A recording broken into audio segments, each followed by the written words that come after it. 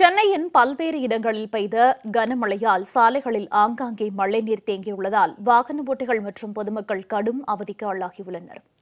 மேற்கு திசை காற்றின் வேக மாறுபாடு காரணமாக தமிழகம் முழுவதும் அவ்வப்போது பரவலாக மழை பெய்து வருகிறது.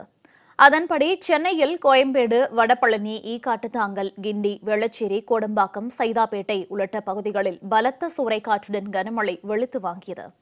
இதனால் கோடம்பாக்கத்தில் உள்ள வெள்ளாளர் தெருவில் மழைநீர் குளம் போல் தேங்கி நின்றதால் வாகன ஓட்டிகள் பொதுமக்கள் சிரமமடைந்தனர் இதுகுறித்து மாநகராட்சி அதிகாரிகளிடம் புகார் அளித்தும் எவ்வித நடவடிக்கையும் எடுக்கவில்லை என பொதுமக்கள் குற்றம் சாட்டியுள்ளனர்.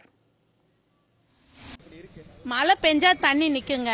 ஆமா மழை பெய்யலைன்னா தண்ணி இருக்காது. அதே போல அடப்பு எதனா வந்தா தண்ணி நிக்கும். ஆமா ஏன்னா அந்த இடம் பள்ளமா இருக்கிறதால கம்பல்சரி எங்களுக்கு தண்ணி நின்னுகிட்டே இருக்கு. நாங்கள் ரோடு போட வரும்போது எல்லாம் சொல்றோம் இந்த இடம் மட்டும் ஹைட்டு தூக்குங்க தூக்குங்கன்னா தூக்கவே மாட்டுறாங்க அவங்க என்ன மெஷர்மெண்ட் பண்றாங்கன்னே தெரியல அப்படியே பள்ளமாவே இருக்கு. ஒரு இது பிடிச்சா தெரியும் இல்லை எங்க பள்ளமா இருக்குன்னு. அது பண்ணவே மாட்டுறாங்க நாங்களும் சொல்லி சொல்லி பார்த்துட்டோம். இதில் எப்போ பார்த்தாலும் சரி ஒரு சின்ன மழை பெஞ்சாலும் முழங்கால் அளவு தண்ணியை தேங்குற இடம் இருக்குது கிட்டத்தட்ட நான் எனக்கு தெரிஞ்ச வரைக்கும் நான் இந்த ஏரியாவில் ஒரு இருபது வருஷமாக இருக்கேன் நான்.